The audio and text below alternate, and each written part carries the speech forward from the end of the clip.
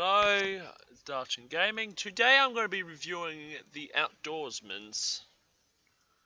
Now, yes, it's one of these bad buggers like farmer hats.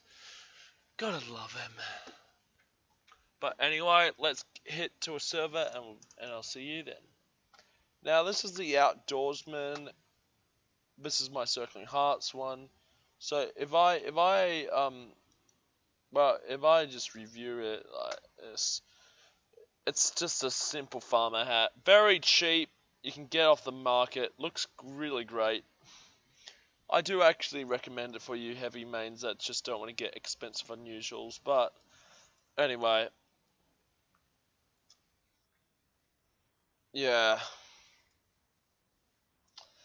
And I anyway find that the outdoorsman is just it's just one of the cheapest heavy it's just literally the one of the cheapest um uh cheapest skins. Well anyway let's just if you can look a bit more at it so let's um oops. There we go. Inspect and the thing is you can color it so you can make it look great in the colors you want it. So say if you want it pink, that's what it will look like. And yeah, that's basically the, my my um, my first effect, which is circling hearts. Well, yep, this is my um, jack o' lantern outdoorsman.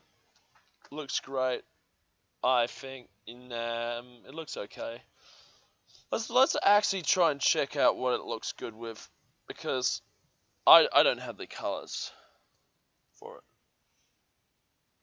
So let's inspect. We'll go like there. Let's check it with black. Black I think looks great. Orange looks okay. I reckon black is better. So I think black is your best bet if you have one of these. I think this is like a lot rarer than some of the others, but not not not the um, Scorching Flame obviously and all that. So I reckon the Outdoorsman is like a very suitable heavy hat that you can have. Yeah, so that's it for this video. Peace.